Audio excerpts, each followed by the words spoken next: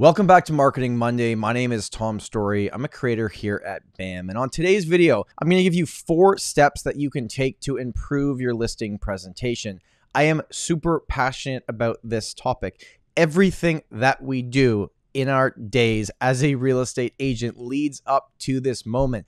Everything you learn at the conferences, everything you learn from being a part of BAMX, you got to implement it and then it gets you that opportunity where you're sitting across the table from someone that's thinking of selling their property.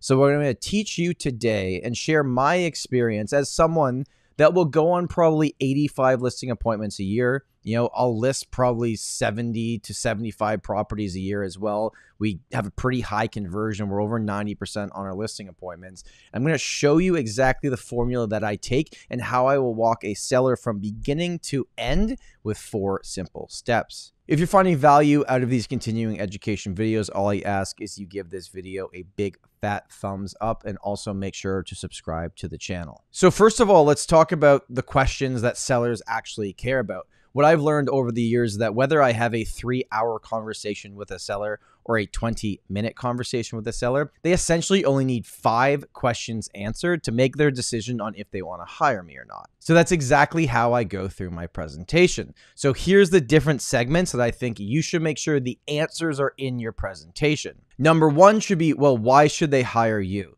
Now, this is the point of the presentation that you talk about you versus the market, the average agent versus you, what you guys are doing on your team versus everybody else, and show graphs, right? Never tell them what you can show them. Number two is what is currently happening in the market. This is where you're literally going to take out a pen, the market data, and go through it with them to show you what is happening. And in a second here, I'll show you how you can really, really show your value on this segment of the presentation. Number three is what's your marketing plan going to be for their property on MLS, off MLS, exclusive, whatever type of marketing that you do in your market, you're going to explain it here. Number four is what is the property worth? I think we all know that that's an important question to answer. And number five is what is your fee for service? How much does this cost? Because at the end of the day, those are the five things a seller wants to know. Why should I hire you? What the heck's happening in the market right now? What are you going to do to market my property? What's my property worth? And how much do you charge? So that's the order in which I believe your presentation should flow, specifically in that order from one to five.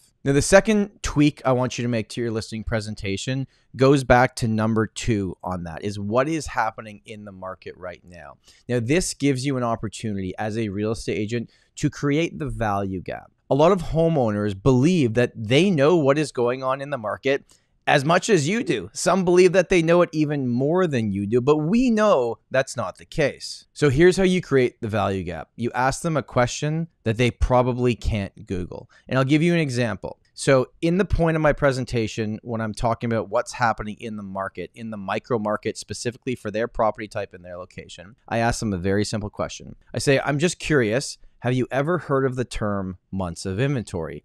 And they go silent and they think about it and they're like, uh, no, I may, maybe I've heard it before, but could you explain it to me? This now gives me the opportunity as the professional at the table, as the knowledge broker, to show them what is happening because they can't just Google that and figure it out and know exactly what's going on. And they need to know these numbers. This is what percentage of homes are actually selling.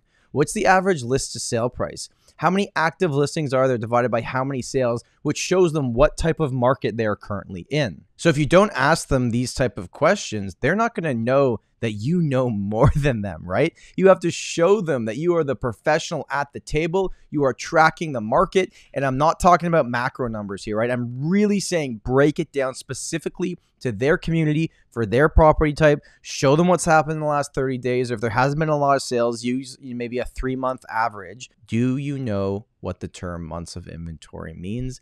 In my career, I've only ever had one person say yes. Everyone else doesn't know, and I get an opportunity to show my value. The real estate industry can be very lonely. If you're anything like me, you're experiencing that right now in your business. And it wasn't until I found a community that I really helped myself grow. So if you're looking to find a community where you can grow and actually, most importantly, sell more homes and build your brand, BAMX is the place to do it. Now, BAMX has the best live streams, has the best webinars, has the best community, has the best courses, got the best of everything in this industry and you can get to be a part of it for a fraction of what it costs to be in other programs for legacy real estate companies. It's intentional that BAM costs less and we're bringing more value to the table than everybody else because we believe that legacy real estate media is broken and we're here to fix it. So if you want to join the fun, you want to join the community, I've got a code for you.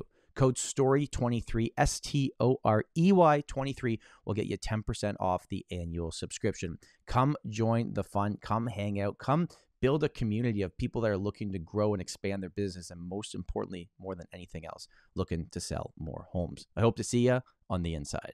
The third thing I want to discuss in today's video is something that I think a lot of real estate agents kind of gloss over, and this is the marketing of the property. Okay photos, virtual tour, floor plan, and videos, right? We all say we do these things. And if we're good at our job, we probably do these on a professional level and it costs us a lot of money. And at the end of it, it's like, yeah, this all looks pretty good. But I want to give you a little tweak when you're talking specifically about the photos, how you can stand out, especially if they're interviewing other agents. So when you get to the point of your presentation where you're talking about the photography and how you market properties, I want you to say something along these lines. So what I've learned over the years is there's three types of real estate photography. There's crappy iPhone photos, which obviously we don't want. Then there's professional photos, and then there's magazine worthy photos. So, an example for me here in my market is I will actually show them a photo of my listings. I'll say, hey, out of curiosity, do you notice anything different about these photos?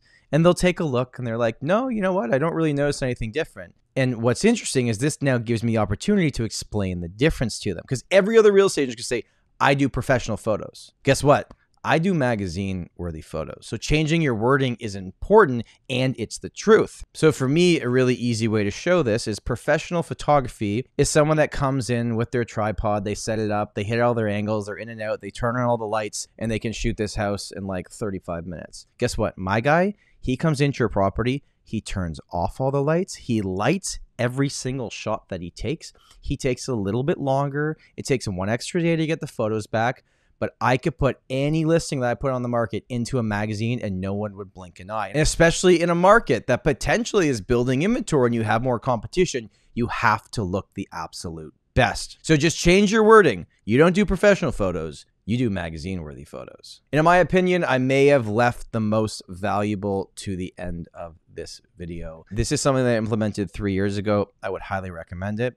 And it's offering three different commission packages, right? If you've ever bought software online, there's like the free version, there's the middle version, and then there's the expensive version.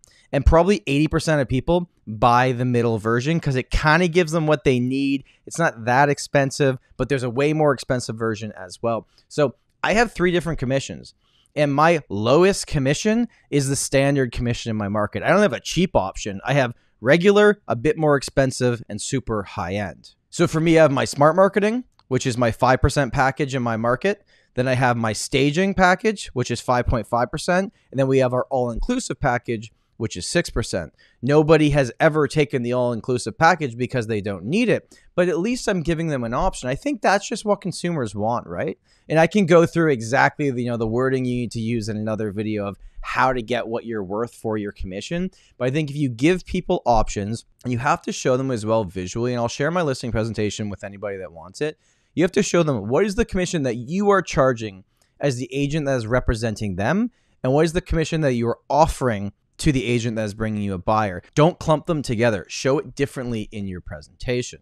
So there you go. Those are four tweaks you can make to your listing presentation. If you have any questions about anything I talked about in this video, please let me know in the comments below. I'll hang out there and answer everything. Thank you so much for watching this video. My name is Tom Storey, and I'll see you next week.